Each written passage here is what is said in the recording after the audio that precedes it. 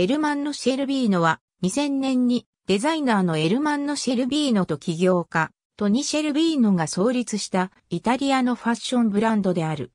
エルマンノ・シェルビーノ・エマノ・セルビーノ、 fashion show at Salone dei Cinquecento during Pitti, Immagine January 2013ファーストライン、エマノ・セルビーノはエルマンノ・シェルビーノグループのメインブランドであり、最高級品を求める顧客層をターゲットにメンズ及びレディスのアパレル、バッグ、靴などの商品を展開する。巧みな職人技が際立つ彼のスポーツクチュール、ミセル・ランジェリーはブランド創設当時より彼のコレクションの重要な特徴である。エルマンノ・シェルビーノのアンダーウェアとビーチウェアはミセル・ランジェリーというファーストラインのフィロソフィーを受け継いでいる。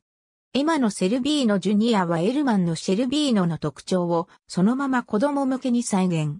毎年フィレンツェのピッティ・ビンボに出展。セルビーノストリートはヤング層をターゲットに、ファーストラインと比べて手頃なプライスで、ファーストラインの特徴を引き継いだコレクションを展開。エルマンノ・シェルビーノのコレクションは、世界各地42店のモノショップ、数多くのセレクトショップ並びに、デパートにて展開。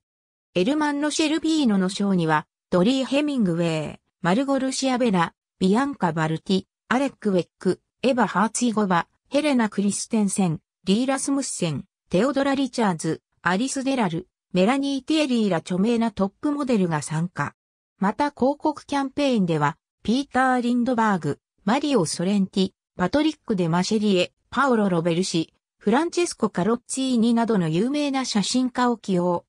ありがとうございます。